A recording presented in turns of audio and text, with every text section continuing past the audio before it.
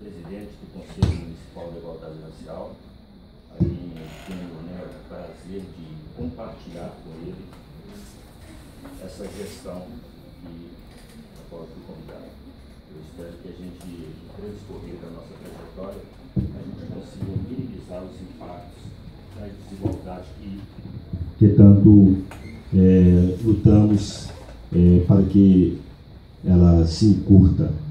Quero agradecer ao prefeito municipal de Itabira, o senhor Tamon Lázaro de Sena, primeiro pelo convite de ocupar é, essa diretoria de promoção da igualdade racial, que é uma diretoria que a gente sonhou no primeiro momento ser uma, uma secretaria e é o que me move, inclusive, para que nós cheguemos até ela e que a gente seja reconhecido não como uma parte, mas um todo dessa igualdade que a gente é, luta. E hoje, quando a gente é, traz né, no nosso pensamento qual seria o melhor slogan para que nós pudéssemos refletir esse momento 13 de maio.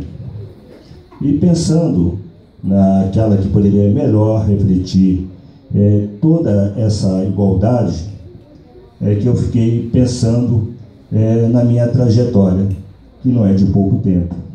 Ela já faz mais de 30 anos é, que eu dediquei é, de corpo e alma para que nós aqui pudéssemos chegar e no apoderamento do poder institucional nós pudéssemos ter voz e vez, como tenho visto aqui agora, né, essa diversidade.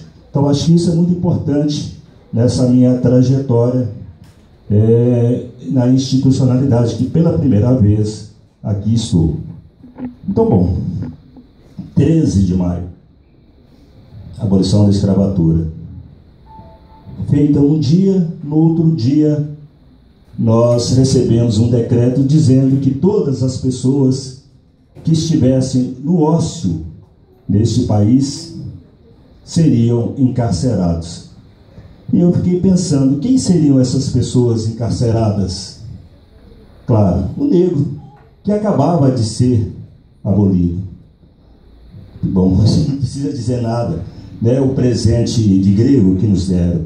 Porque quando nos aboliram, esqueceram de nos é, munir dos preceitos mínimos que um cidadão precisa é, garantir para sua dignidade, que é o direito à liberdade, o direito ao trabalho, o direito ao respeito, que tudo nos faltaram.